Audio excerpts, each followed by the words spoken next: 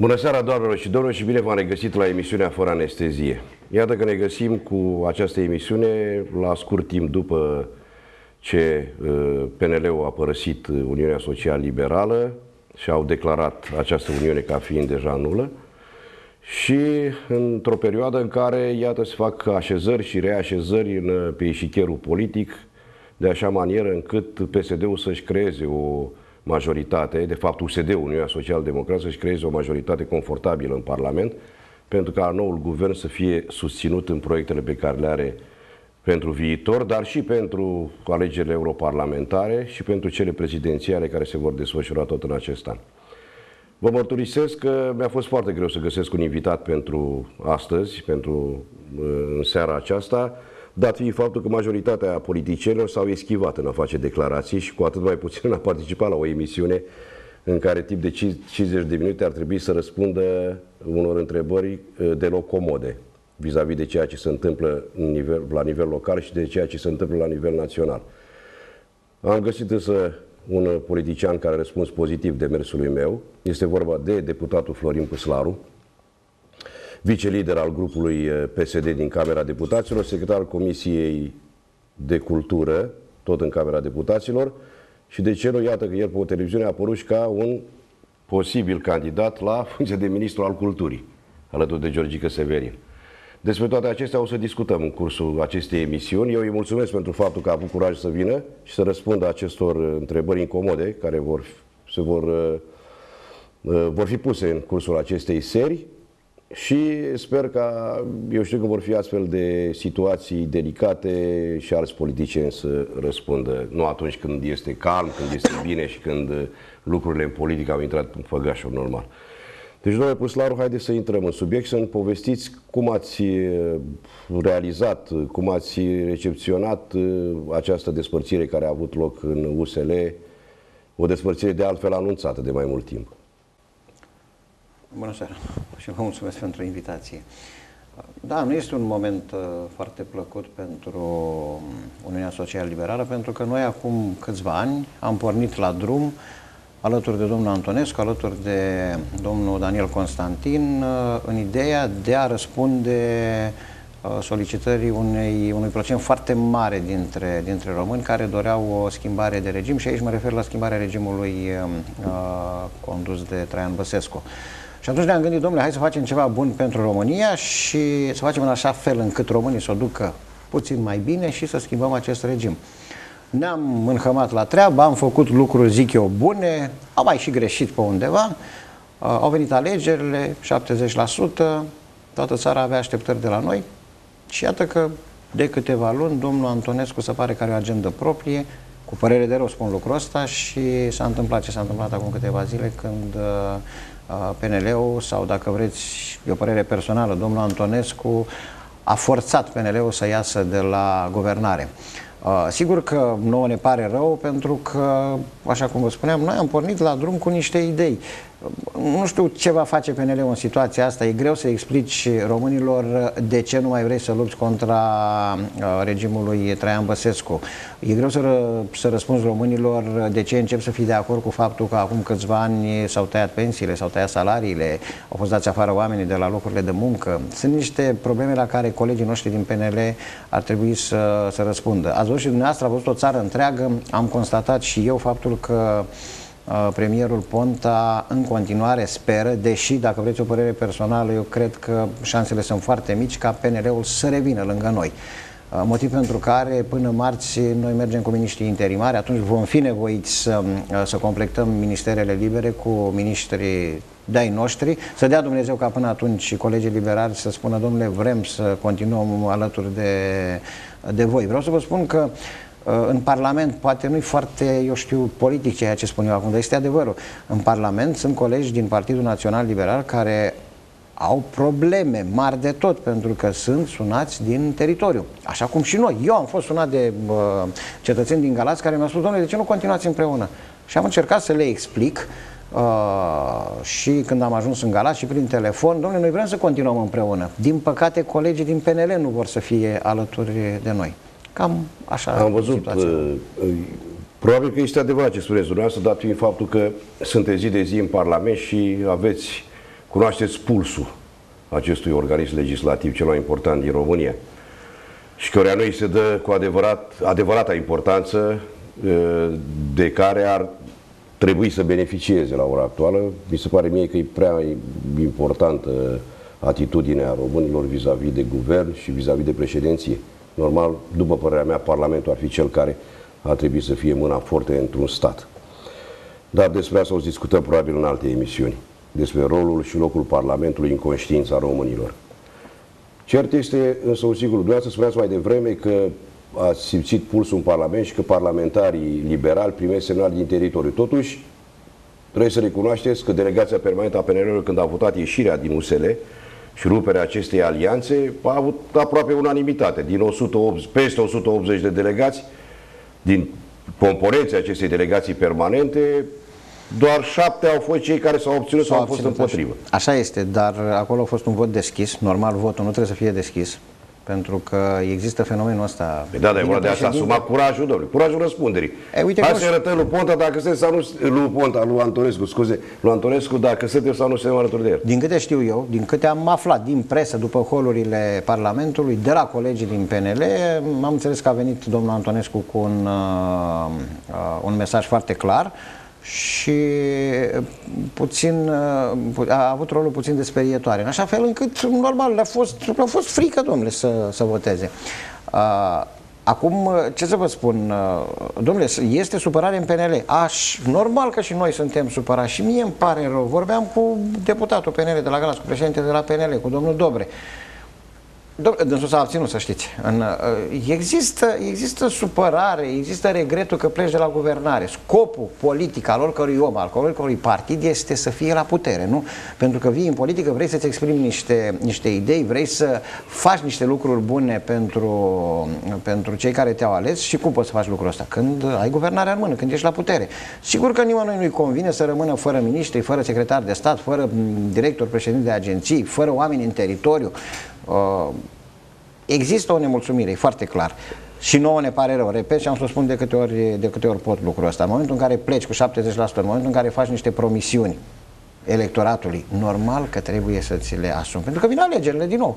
Și o să spun, pentru ce să te mai aleg? Te-am ales atunci și uite ce ai făcut acum.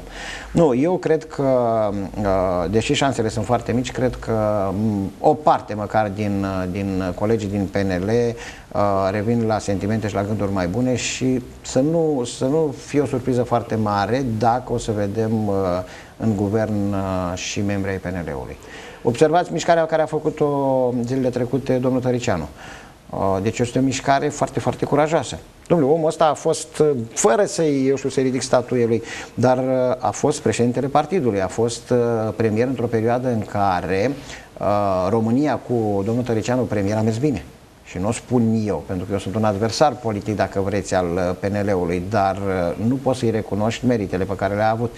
Ei, când omul ăsta se duce la Victor Ponta și spune, domnule, eu vreau în continuare PNL-ul la guvernare, păi clar că el vrea cei mai bine pentru, pentru PNL. Plus, o să vedeți din ce în ce mai multe voci care o să spună, domnule, am fost lângă PNL, am avut proiecte comune, l-am înjurat pe Băsescu și acum nu mai dăm în Băsescu, că noi trebuie să dăm în, uh, în PSD, trebuie să dăm în USD. Tare, tare curios sunt eu cum vor vota colegii din PNL dacă vor rămâne în opoziție în momentul în care noi vom veni cu puncte din programul pe care l-am făcut, programul de guvernare al USL-ului. Acolo sunt foarte multe puncte sociale Păi PNL-ul până acum era lângă noi pentru că am semnat acel protocol și acum o să voteze invers. Nu știu, e, sunt multe semne de întrebare și cred eu că multe din întrebările astea nu i avantajează. Eu am văzut că uh, premierul Ponta spunea uh, se va uh, respecta programul de guvernare al USL-ului. Păi așa este. Există totuși o problemă la care aș vrea să-mi răspundeți. Ținând cont de faptul că, nu știu, sunt șanse extraordinar de mari ca UDMR-ul să intre în guvernul Ponta 3, se mai poate spune chiar la nivel declarativ că se respectă programul USR, pentru că și UDMR-ul va veni cu niște pro proiecte care nu sunt prinse în acest proiect al USL-ului, în acest program guvernamental al USL-ului. Ca atare vor fi o, noul guvern va fi obligat să vină în fața Parlamentului și cu alte uh, uh, proiecte legislative care nu se, sunt cuprinse în acest program. Da, nu vă ascund faptul că uh, săptămâna care se încheie astăzi în săptămâna care se încheie astăzi, eu am participat la câteva din rundele de negociere și, într-adevăr, colegii de la UDMR au venit și ei cu niște, cu niște propuneri. Da, e negociere. Politica e arta negocierii. Ei cer, noi vedem ce putem să le dăm, dar cu siguranță noi nu renunțăm la niciunul din punctele pe care le-am, ni le-am asumat atunci când am format USL-ul. Uh, Sunt niște puncte și uh, în Parlament aceste puncte se uh, transformă în uh, proiecte de legi pe care noi le-am inițiat deja. Sunt inițiatori și de la PSD, și de la PNL, și de la PC. Păi când or să ajung, ele sunt la nivel, multe din proiecte sunt la nivelul comisiilor. Ele ajung în plen, nu?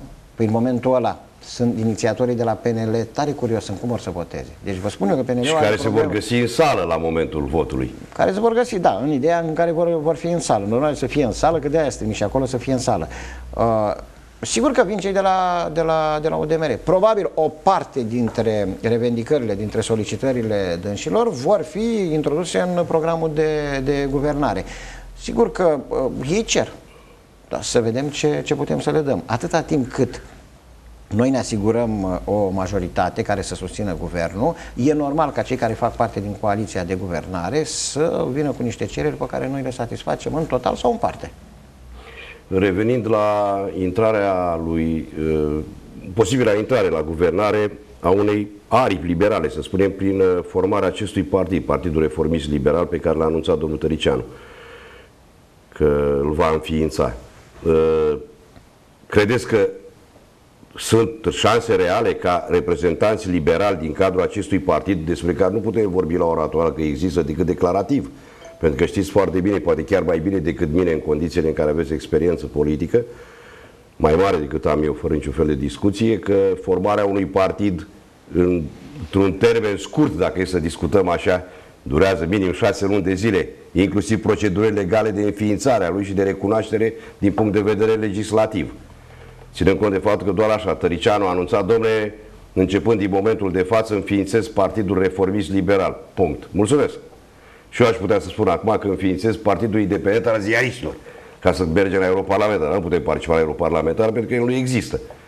Da. Plus uh, discutăm despre existența unor filiale în teritoriu, etc. etc. Deci e mult, extraordinar de mult de vorbit la ora actuală despre existența unui astfel de partid. Ei, el nu este ilegitim dacă este luat la guvernare? În sensul ăsta, adică în sensul în care, domnul, el pe cine reprezintă? Că acest partid totuși nu există.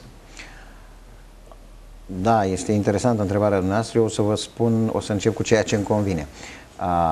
Pe noi ne interesează să avem o susținere a guvernului în Parlament. Ce înseamnă? Jumătate plus unul să-ți voteze guvernul în condițiile în care legile sunt organice, să fie două, trei. Perfect. Marți este primul test. Vine Victor Ponta cu noua formulă guvernamentală pe care noi trebuie să o, să o votăm. Vreau să vă spun că la ora actuală, pentru votarea guvernului vin cele două camere, camerele reunite, deci tot Parlamentul. Noi la ora actuală, numai USD-ul, rețineți, USD, fără minorități, care au declarat că sunt cu noi, fără maghiari, care sunt cu noi, fără neafiliați, hai să spunem din aia sunt vreo 8 și cu 7, vreo 15 persoane, măcar jumătate sunt cu noi. Deși știm cu toții că marea majoritate a celor care Cine sunt afiliații ăștia? Faceți, faceți o mică paranteză. Neafiliații sunt cei care au plecat fie din PNL, fie au plecat din PPDD, au plecat vreo 2 și după la PD și își caută o umbrelă. Din diferite motive au plecat, mai mult sau puțin subiectiv, dar nu le-aș, nu le-aș uh, comenta pentru că fiecare au niște motive care, din punctul meu de vedere, sunt în marea lor majoritate subiective. Adică, sincer, să, să continui paranteza. Eu n-aș pleca de la partidul care m-a lansat ca om politic și care m-a trimis în Parlament nici în ruptul capului. E o prostie. Eu am fost unul dintre cei care a fost împotriva migrației politice. Din păcate, am fost inițiator al acestei legi, nu s-a aprobat în Parlament. Perfect, asta e, ne supune majorității. Uh, revenind, deci noi marți avem majoritate. E clar, guvernul va trece. Repet, USD-ul are majoritate, dar mai sunt și ungurii lângă noi, mai sunt și minoritățile, mai sunt și neafiliați. Bine, nu avem emoții că nu trece guvernul. Perfect. Mai departe. Dar trebuie totuși o majoritate solidă. Exact. Mai departe. O să vedeți că de miercuri, deci nu săptămâna, poate săptămâna viitoare toți peneliștii vor vota împotriva acestui guvern, dar nu va fi de ajuns. O să vedeți că pe măsură ce trece timpul, vor fi uh, parlamentari din PNL, semnale sunt foarte multe, dar eu sunt obișnuit să vorbesc pe fapte concrete. Uh, există semnale că deja 12 parlamentari de la PNL vor vota cu noi. Veți vedea că din ce în ce mai mulți parlamentari votează cu noi. Și atunci noi ne creăm majoritatea. A, până să face partidul domnului Tăricianu, că durează o lună, două, șapte, este treaba dânsului. Principala, principalul beneficiu pentru guvern și pentru România este că o parte dintre parlamentarii uh, PNL-ului vor vota cu noi. Și atunci majoritatea va crește. Pe urmă, Știm destul de bine că în momentul în care se formează o majoritate, 10% dintre uh, parlamentari migrează către putere. Este un lucru arhicunoscut, matematic dovedit, uh, deci vom avea o majoritate parlamentară. Dar cel mai important lucru este următorul.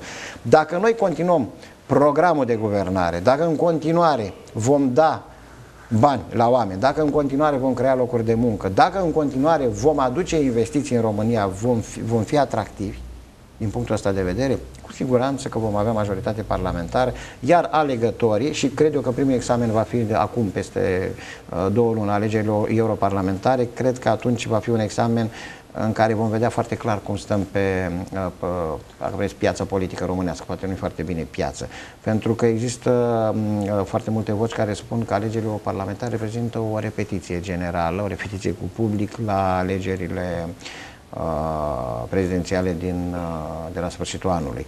Iar așa cum uh, spun până acum sondajele, stăm destul de bine. Vreau să vă spun că s-a făcut un sondaj acum două zile parcă, foarte repede pe niște focus grupuri, în care se punea întrebarea așa, s-a rupt USL-ul, uh, câți rămân cu USD-ul, câți rămân cu PNL-ul. 20% era PNL, restul era la USD.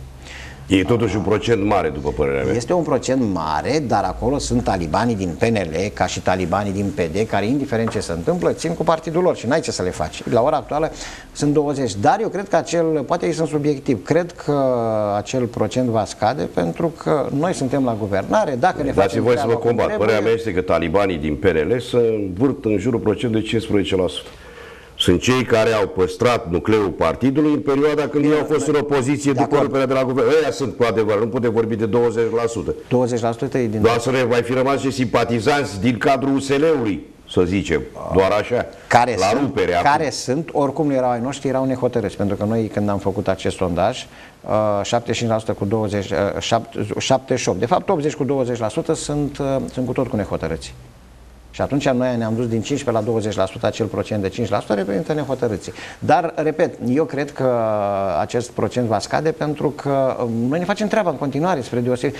Încă o dată, domnul Paic, lumea ne-a votat deci a fost un vot negativ, în primul rând, la adresa regimului Băsescu. Suntem de acord cu toții la lucru. Inclusiv pediștii sunt de acord cu lucrul ăsta. Și care va rămâne și în continuare ca vot negativ. Uitați, foarte bine. În momentul în care noi ne facem treaba în continuare, în momentul în care atacăm un regim care nu ne-a plăcut și care, care n-a fost plăcut pentru peste 70% din populația României, atunci cu siguranță oamenii vor sta lângă noi. A, în momentul în care noi începem să aplaudăm ceea ce a făcut Traian Băsescu, așa cum se pare că va face domnul Antonescu, pentru că va fi nevoit să facă lucrul ăsta, pentru că din opoziție ei nu vor fi de acord cu noi. Asta e legea în, în politica mondială, nu numai românească. Opoziția nu e de acord cu puterea. Până dacă mergem cu programul ăla cu care ne-au ales 70% și PNL-ul nu va vota lângă noi, care va fi ideea? Eu nu, nu, nu dau curs speculațiilor că Traian Băsescu are înțelegeri cu domnul Antonescu, că domnul Antonescu a fost păcălit, că astea sunt speculații în care crești eu mai mult sau mai puțin, dar nu pot să vorbesc decât de lucruri concrete. Deci atâta timp când ne vedem noi de programul nostru de guvernare, uitați-vă, ieri parcă s-a apreciat leu.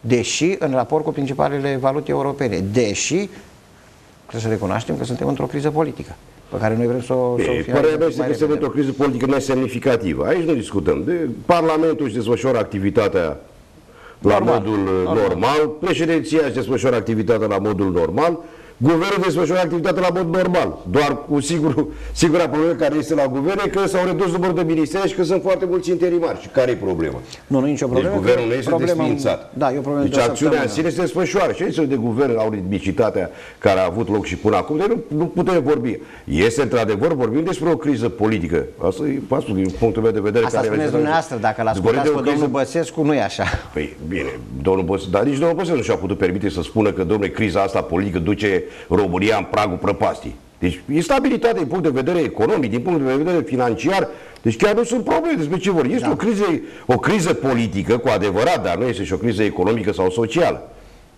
Despre asta vorbim. Este o criză sigur. politică la nivelul guvernului. Și este un, lucru și foarte, este un lucru foarte bun pentru țară, pentru că, așa cum vă spuneam, deci Leo nu s-a depreciat, noi venim într-o săptămână cu miniștri și completăm guvernul, e foarte important ce a spus premierul Ponta, domnule, noi nu dăm afară. Cine a plecat și a dat demisia și a dat demisia, noi nu dăm afară dacă sunt competenți. O să vedeți că în structurile uh, județene vor rămâne foarte mulți din directorii care au fost promovați sau șefi de agenții care au fost promovați de, de PNL, atâta din cât își fac treaba. Mai mult decât atât, repet, s-ar putea să avem surpriza să avem în uh, viitorul guvern și ministrii din PNL. Fie că au, uh, și-au dat demisia din PNL, fie că rămân în PNL, dar cred că dacă îi vede domnul Antonescu în guvern, îi dă afară. Dar dacă ei sunt competenți, au loc în, în guvern în continuare. Pentru că, vedeți, a fost un guvern în care nu au fost certuri. A fost un guvern în care premierul Ponta de foarte multe ori a spus, domnule, eu mă înțeleg bine cu, cu ministrii din uh, liberali. Acum, vedeți, și ruptura asta. Avem și noi vina noastră, probabil. Pentru că n-am dat PNL-ului tot ce a dorit, dar nu poți să-i dai PNL-ului tot ce vrei. Se negociază. PNL-ul este de dreapta. Noi suntem centru-stânga. Din fericire pentru noi, marea majoritate a alegătorilor din România sunt de centru-stânga. Suntem o țară despre care nu putem spune că e o țară Iară vă combat. Deci, dumneavoastră, pe partea de centru-stânga nu puteți să adunați mai mult de 40% și știți foarte bine că așa este. Păi noi adunăm 40% ale noastre, plus adunăm nemulțumiții de la regimul Vorbiți Băsescu. despre cine hotărâți, dar stânga, da. la ora actuală în România, nu se poate extinde mai mult de 40%. Asta este motivul pentru care, la mod acum în România... Iar cele de România... 60% sunt fracționate în 5-6 formațiuni politice. Exact, iar interesul nostru este să atragem de partea noastră din cei 60% cât mai mult. Asta e motivul pentru care la, în România acum se guvernează în coaliție. De aia suntem USD. Și apropo de USD, iar cred că e o supărare m, artificială a domnului Antonescu, te super pe USD. Vreau să vă spun, am participat eu, Florin Păslaru, am fost la negocierile din cadrul USL-ului în care noi, PSD, am spus, domnule, hai să candidăm pe liste comune. PNL-ul a spus, da, dar mergem la paritate. Nu se poate. Deci PNL-ul n-a avut niciodată atâția primari, președinți de consilii județene, ca acum când au candidat alături Deci, de noi. care a fost mulțumirea? Noi am, avut, noi am avut și fără ei. Deci cei care au avut de câștigat din toată afacerea asta, afacere, afacere politică, a fost PNL-ul. Nu, păi și noi am propus un procent acolo, pe care nu-l ascund, era 2 la 1.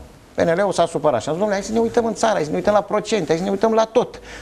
Hai să mergem așa că avem de câștigat. Nu, PNL-ul a vrut să mergem separat. Păi în momentul în care merg separat, eu PSD, sigur că fac toate artificiile și jocurile, jocurile de public relation, de imagine, de impact, în așa fel încât să atragă alegătorii.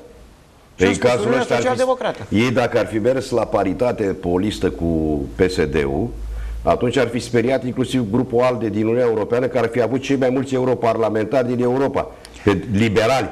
Și așa Dacă vor ar fi avea, mers la paritate. Și așa, după uh, sondajele care s-au făcut, cred că vor avea cu unul sau doi europarlamentari mai mulți și devin o, o, devin o țară cu un număr important de membri în grupul ALDE. Da, dar acum ar fi avut totuși chiar spectaculos de mulți. V-am spus că ar fi speriat grupul ALDE cu numărul de parlamentari pe care ar fi scos în cazul în care s-ar dacă fi n-au mers la vrut, domnul paritate Pai, cu dacă n-au PSD-ul. vrut, dacă n-au Și cu vrut, 2 la dacă- 1 le ieșea chiar mai bine decât ies. Eu am îndoieli în privința faptului că vor avea un număr de, de europarlamentari în plus față de mișcarea asta cu ruperea de USR o să-i coste niște procente și deja încep, uh, ați văzut, instituții de sondare a opiniei publice, deja au început să cuantifice. Dumneavoastră ați Este un spus-o. eșec Așa din este. punctul meu de vedere și o greșeală a domnului Antonescu.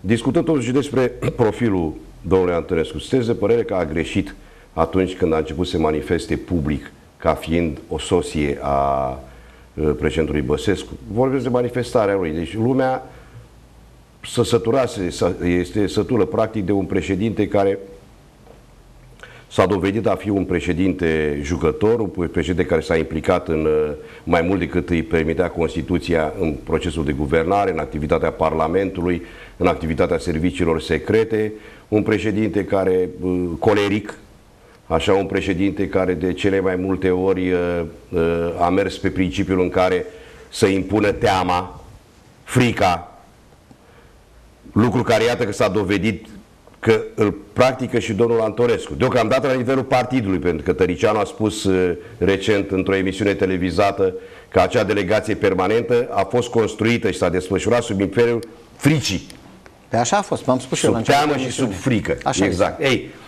credeți că îl va ajuta pe domnul uh, Tăricianu un astfel de comportament, un comportament care de acum este dovedit? Pe domnul Tăricianu îl ajută sigur. Pe, pe, mă scuzați, pe domnul Antonescu, nu pe domnul Tărician, pentru că domnul Antinescu, Antonescu, la această oră, copie practic manifestările președintului în exercițiu.